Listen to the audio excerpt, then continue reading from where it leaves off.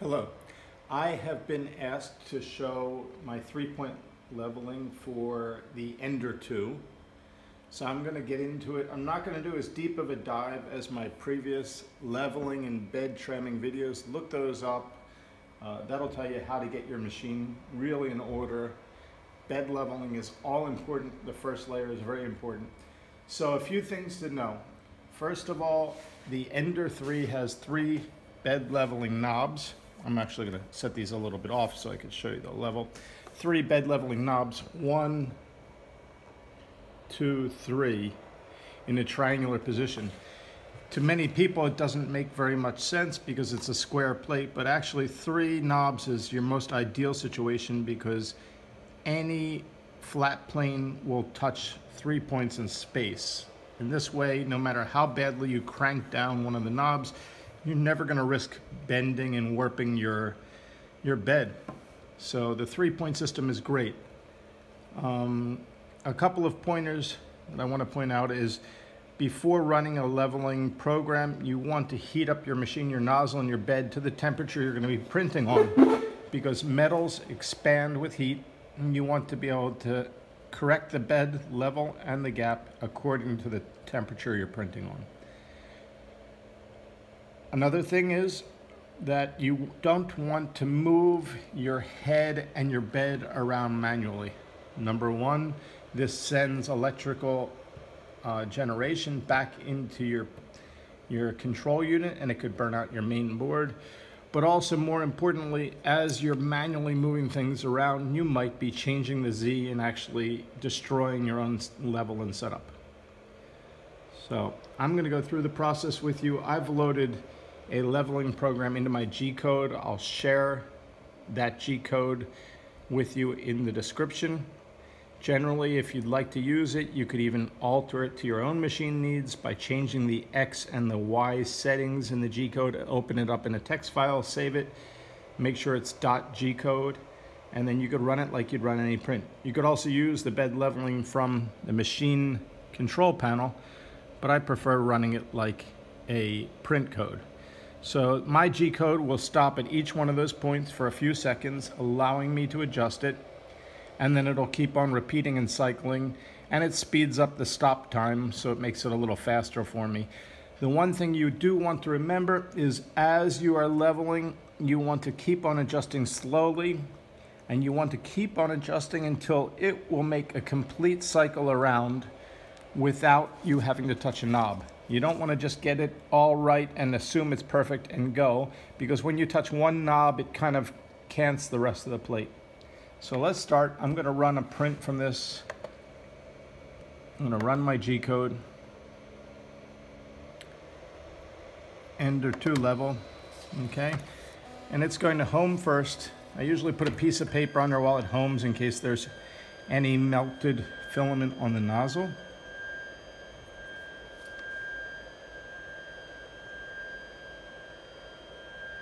I like to use a little bit heavier paper than copy paper. Copy paper is fine. I try to use like a 28 pound or you know a little heavier. I find that that gap is great. Sometimes for certain filaments like PETG,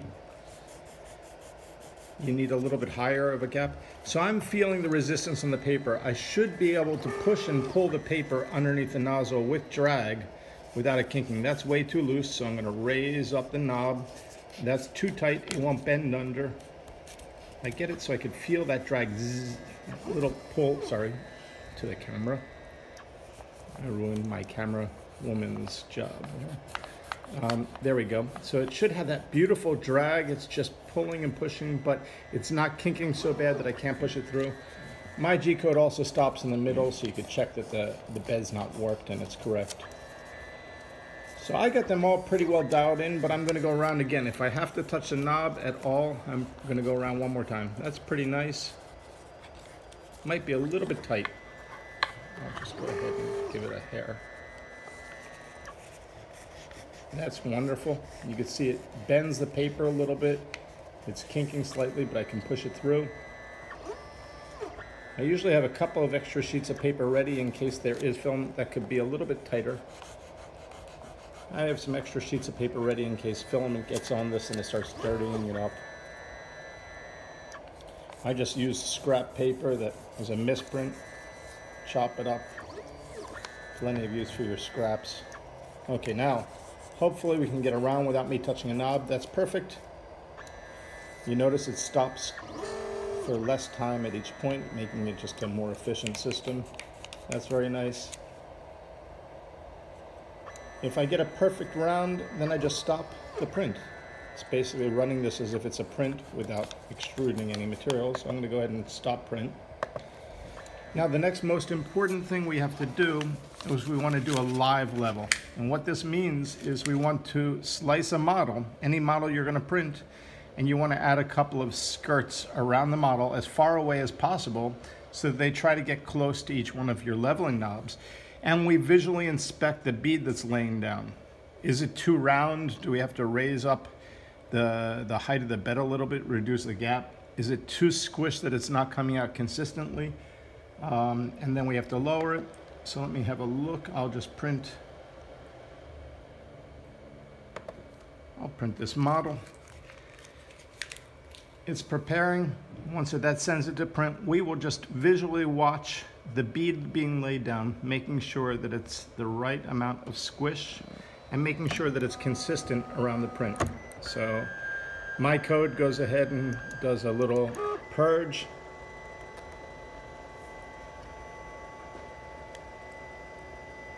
And now it's going to the print.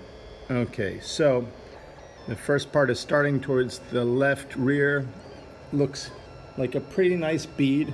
Most important thing is that the bead is not getting dragged around by the nozzle. It's getting deposited on the bed. It could be a little more squished all the way around. I'm going to turn the slightest amount on each one of the knobs. I usually do two or three live levels. This is a great habit to always slice your models with it and then you'll find you don't have to level as frequently because you just do a live level as it's going. That's really perfect. So my first level is now going down. We could come back in a second just to see the quality of the first level but you'll notice that the bead is slightly flat.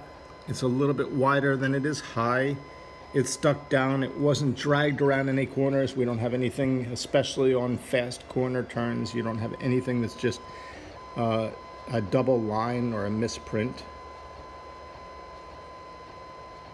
What we can do is we can come back in a little while after the first layer is printed and have a look at the quality of that, hopefully. I'm printing on the Wham Bam flexible build system and this PEX is a wonderful material for attracting all filaments but you could print on glass bed with the same results with glues, glue stick, hairsprays, tapes, um, on PC, anything you like.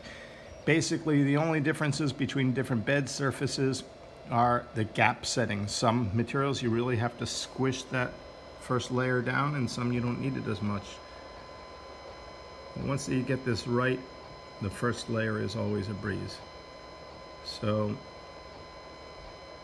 maybe in a second, if this moves back, you'll be able to see the quality of the first layer. There we go. You see that first layer? Really beautiful. Just laid down smoothly, complete, no hairs or strings, nothing pulling up.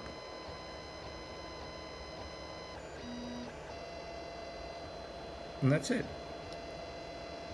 I hope this was simple and clear. Try it out on your own. I also do have four-point bed leveling G-codes in uh, my other videos. You could find those, but this is for the Ender 2, the three-point bed leveling. Thank you.